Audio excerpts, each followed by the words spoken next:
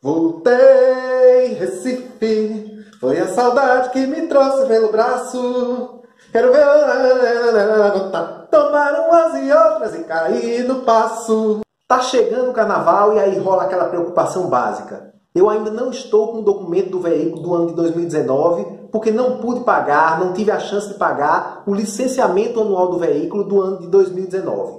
E aí você me pergunta, Clécio, o que é que eu vou fazer? Eu quero pegar uma praia, eu quero fazer uma viagem, o que é que eu vou fazer se eu não estou com o documento do veículo do ano de 2019 ainda?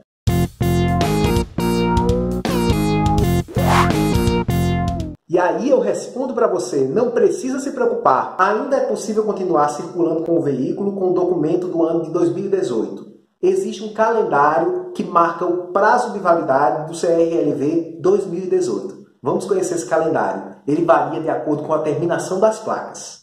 Placas com terminação 1 ou 2. O prazo de validade do documento do veículo de 2018 é até o final do mês de maio.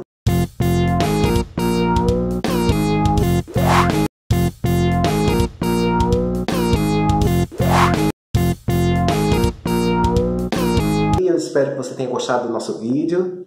Se gostou, deixa o teu like e aproveita e compartilha o máximo possível para espalhar essas orientações para o máximo possível de gente. Aproveita e se inscreve em um dos nossos canais, tá certo?